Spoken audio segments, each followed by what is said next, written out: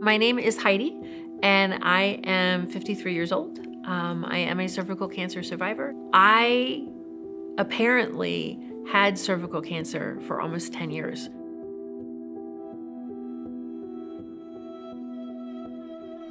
I had no symptoms.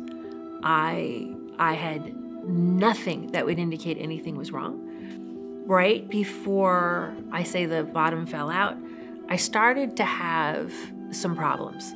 I went to the emergency room because I thought I had a blocked intestine. As I'm there, I literally start to bleed out. And I mean, the entire team there is just try, desperately trying to figure out what's happening and like what's going on.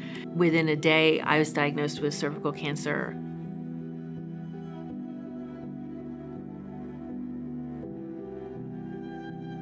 I thought I was so good at taking care of myself medically. But for the gynecologist, I was like, I'm not having another baby.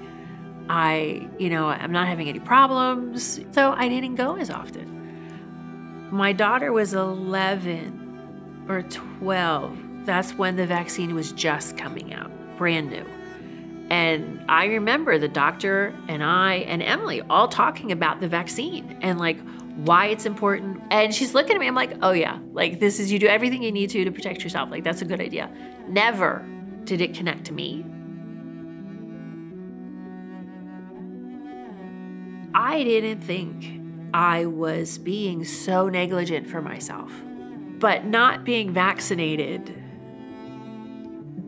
devastated my life. Every activity I love to do, I can't do anymore.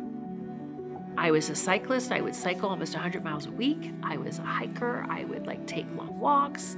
That was what I did. Can't do that anymore. Can't walk like that anymore at all. Life isn't the same.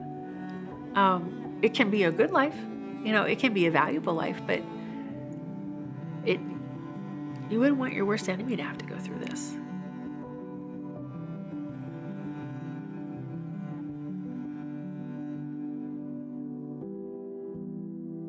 HPV is not rare.